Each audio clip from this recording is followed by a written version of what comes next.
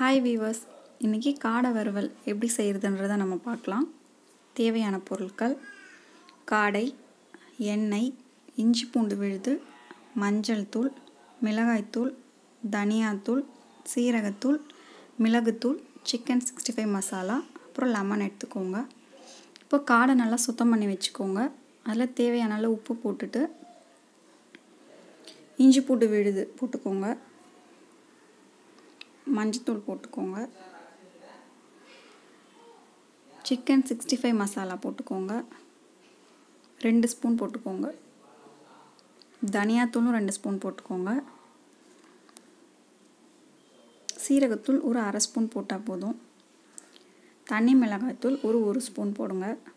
மிளகுத்தூள் ஒரு அரை ஸ்பூன் போட்டுக்கோங்க. இப்போது இதில் ஒரு அரை லெமன் பிழிஞ்சு விட்டுட்டு நல்லா கிளறிக்கோங்க.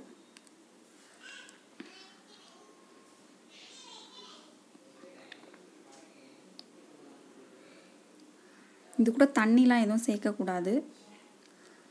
நல்லா அந்த மசாலா அந்த காடைக்குள்ளெல்லாம் போகிற மாதிரி நல்லா பிசைஞ்சிக்கோங்க.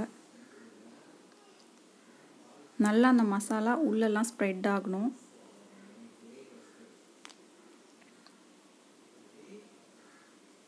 நல்லா மசாலா நல்லா கலக்கி நல்லா பிசைஞ்சு ஒரு ஒன் ஹவர் ஊற வச்சுக்கோங்க.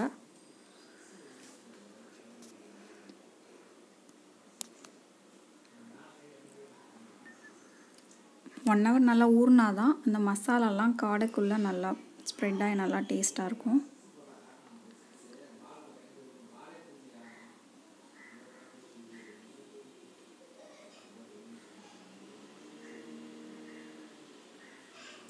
இப்போ காடை ஒன் ஹவர் ஊற வச்சாச்சு. இப்போ கேஸ் ஆன் பண்ணிக்கோங்க.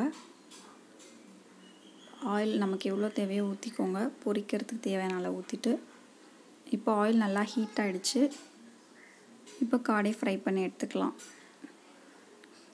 ஆயில் நல்லா ஹீட் ஆனதுக்கப்புறம் தான் நம்ம காடை போடணும். அப்போ தான் காடையில் எண்ணெய்லாம் ஒட்டாமல் நல்லா வெந்திருக்கும்.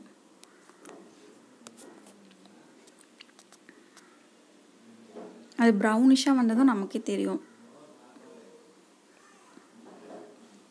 இப்போ நல்லா ப்ரௌனிஷாக வந்துடுச்சு. இப்போ காடை வெந்துடுச்சு. இப்போ காடை ரெடி ஆகிடுச்சு இப்போ காடை வறுவல் ரெடி இந்த வீடியோ உங்களுக்கு பிடிச்சிருந்தா லைக் பண்ணுங்கள் சப்ஸ்கிரைப் பண்ணுங்கள் மறக்காமல் பெல் பட்டனை கிளிக் பண்ணுங்கள்